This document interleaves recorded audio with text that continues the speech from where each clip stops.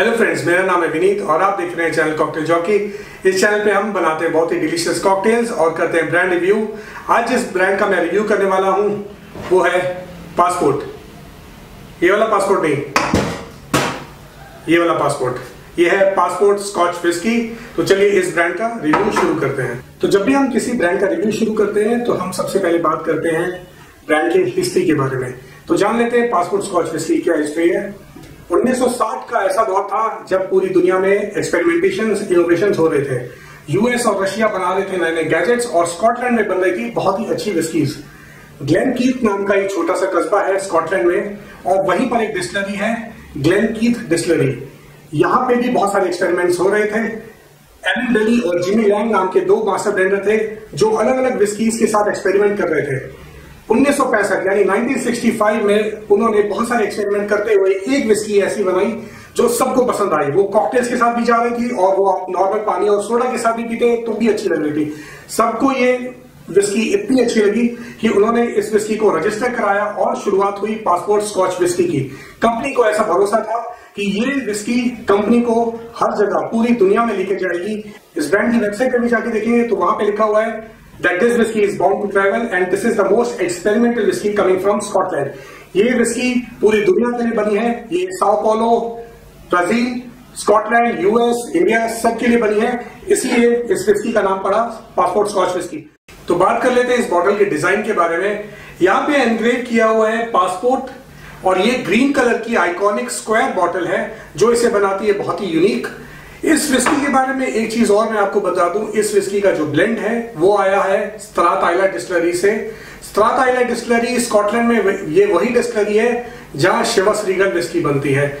आप मान सकते हैं कि जहाँ से शिवस रीगल फ़ेमस विस्की बन के आती है, वहीं से ये बनती है तो आप इसकी क्वालिटी को लेके फुली एश्योर्ड हो सकते हैं। तो टेस्टिंग और नोजिंग करने से पहले जान लेते हैं इसकी प्राइस क्या है। पासपोर्ट स्कॉच विस्की गुड़गांव में आपको ग्यारह सौ रुपए के आसपास मिल सकती है। मुंबई में वहीं उसका प्राइस डबल हो जाता है तो बाईस सौ, तेईस सौ रुपए आप एक्सपेक्ट कर सकते हैं। पंजाब में जैसा मुझे पता चला है, ये तेरह सौ से चौदह सौ के आसपास है। दिल्ली में बारह सौ रुपए की मिल जाएगी और अलग अलग शहरों में इसी तरीके का प्राइस रेंज हज़ार से दो हज़ार में के बीच में आपको देखने को मिलेगा। तो चलिए अब कर लेते हैं इसकी टेस्टिंग और नोजिंग इसके लिए मैं बॉटल ये खोलूँगा। एक ग्लास में इसको पोर करूँगा मैं अराउंड थर्टी एम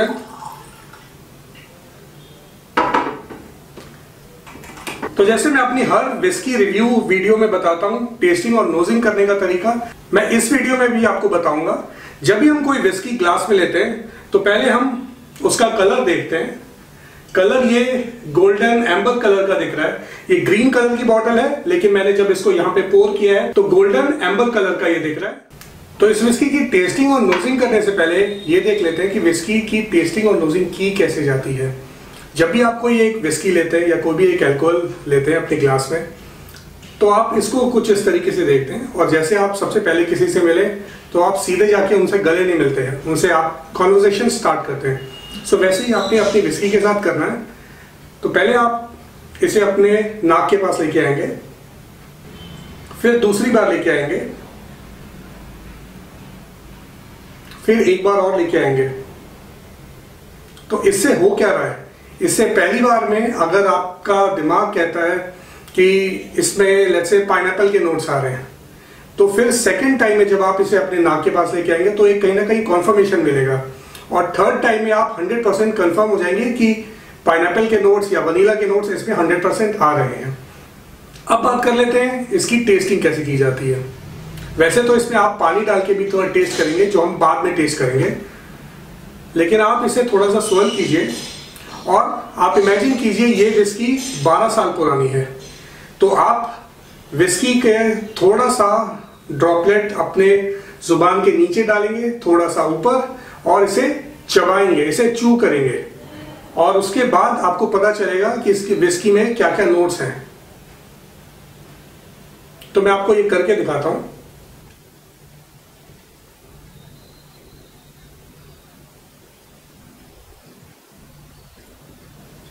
तो इस तरीके से आप विस्की की टेस्टिंग करते हैं। अब हम देख लेते हैं पासपोर्ट स्कॉच विस्की पे जब हम थोड़ा सा वाटर ऐड करेंगे तो क्या मैजिक होता है?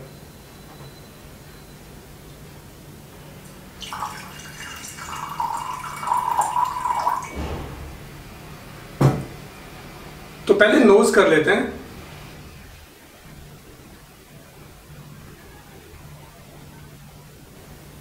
मुझे इसमें थोड़ा सा ऑरेंज और वनीला के नोट्स आ रहे हैं। आपको शायद कुछ और चॉकलेट या पाइनएप्पल के नोट्स आ सकते हैं। वनीला के नोट्स इसलिए आ रहे हैं क्योंकि जो इसमें ब्लेंड है ये स्कॉटलैंड से लाया हुआ भी ब्लेंड इसमें आ, मिक्स किया हुआ है ब्लेंड किया हुआ है। तो स्कॉटलैंड में एक्स बर्बन कास्ट में विस्की डाली जाती है जो आप Glenlivet whisky twelve years देखेंगे तो वो एक्स बर्बन कास्ट में डाल के बनाई जाती है। तो कहीं ना कहीं वैसे ही विस्की जब हम किसी ब्लेंड में डालेंगे तो वनीला के नोट्स आते हैं। तो चलिए अब इसे एक बार टेस्ट करके देखते हैं।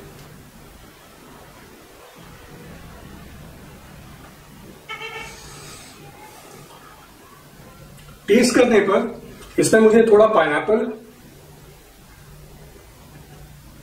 थोड़ा स्मोकीनेस समझ में आ रहा है। और अगर इसकी फिनिश की बात करें, जो एक आफ्टर टेस्ट रह जाता है सो वो आफ्टर टेस्ट जो है वो स्मोकीनेस तो है और फ्रूटी है मॉल्टी है आ, और इसमें एक ऑलराउंड टेस्ट ज़ुबान पे रह जा रहा है। अगर आपने पीटी विस्की अगर पिया होगा तो कहीं ना कहीं वो पीटीनेस वो स्मोकीनेस इस विस्की में अच्छा निकल के आ रहा है। इसीलिए शायद कहते हैं कि इस विस्की को आप कॉकटेल्स में और स्ट्रेट अप भी पी सकते हैं।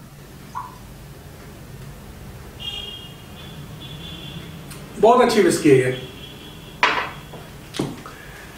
तो अगर आपको ये ब्रांड रिव्यू वीडियो अच्छी लगी हो तो हमारे चैनल को सब्सक्राइब ज़रूर कर लीजिए। मैं इंस्टाग्राम में भी हूँ कॉकटेल जॉकी के नाम से। वहाँ पे जाके हमें फॉलो कर लीजिए। और कमेंट करके बताइए कि आपको ये ब्रांड रिव्यू कैसा लगा। मैं इसी विस्की से अगला वीडियो लाऊँगा, जिसमें हम बहुत ही अच्छी कॉकटेल बना के दिखाएँगे। बहुत ही सिंपल तरीके से। तब तक के लिए बने रहिए और सब्सक्राइब कर लीजिए कॉकटेल जॉकी को। चीयर्स